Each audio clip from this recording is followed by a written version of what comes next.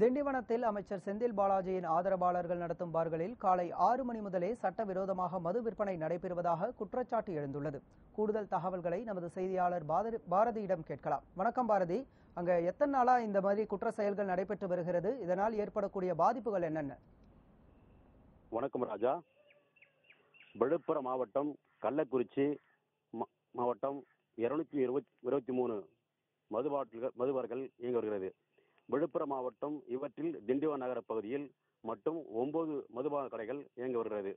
மதுபான கடைகளில் அருகில் பார்களும் இயங்கி வருகிறது. இந்த பார்கள் அனைத்து அமைச்சர் செந்தில் பாலாஜி ஆட்கள் நடத்தி வருகின்றனர். அரசு மதுபான கடை மதியம் பன்னெண்டு மணி அளவில் திறக்கப்படும் நிலையில் திண்டிவனம் மேம்பாலத்தின் கீழே இயங்கி வரும் அரசு மதுபான கடைகள் பாரில் காலை ஆறு மணி முதலே சட்டவிரோதமாக மதுபாட்டில்கள் விற்பனை செய்யப்படுகிறது. மேலும் மது பாட்டில்கள் அதிகமாக விலைக்கு விற்- விற்பனை செய்யப்படுவதுடன் புதுச்சேரி மாநில பாட்டில்களும் விற்பனை செய்யப்படுகிறது. இப்படியான சட்டவிரோதமான மது விற்பனையால் அரசுக்கு இழப்பு ஏற்படுவதுடன் பொதுமக்களுக்கும் பெரும் இன்னலும் ஆளாக்கி வருகின்றனர்.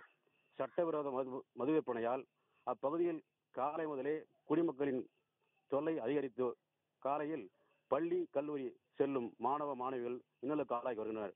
அப்பகுதியின் மக்கள் குற்றம் சாட்டியுள்ளனர். இது இதை குறித்து பலமுறை அதிகாரிகள் மற்றும் காவல்துறையினருக்கு தகவல் கொடுத்தும் எந்தவித நடவடிக்கையும் எடுக்கப்படும் என பொதுமக்கள் தன்னாலா தன்னார்வலர்கள் குற்றம் சாட்டியுள்ளனர். திமுக அமைச்சர் செந்தில் பாலாஜியின் ஆட்களால் நடத்தப்படும் இந்த பார்களில் சட்டவிரோதமாக காலை முதலே கூடுதல் விலைக்கு மது விற்பனை செய்யப்படுவதை தடுக்க வேண்டும். தமிழக மின்சாரத்துறை அமைச்சர் செந்தில் பாலாஜி ஆட்கள் அட்டுழியங்களை நடவடிக்கை எடுக்க வேண்டும் என பொதுமக்கள் கோரிக்கை வைத்துள்ளனர். மேலும் திமுகவின் இதுதான் திராவிட மாடலா என கேள்வியும் எழுப்பியுள்ளனர்.